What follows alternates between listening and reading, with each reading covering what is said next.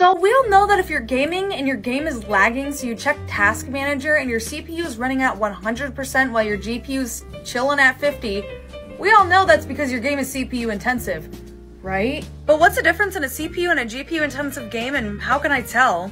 I like to think of it like this. Is your game graphically intense? Is the shadows and the light reflections so realistic that you're immersed? Is there an ultra ray tracing option?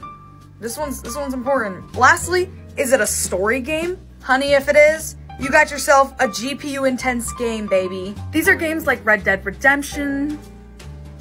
I can't think of any other. Hang on a sec. Cyberpunk, and honestly, most story games, because those are usually the best looking games. Think about Detroit Become Human.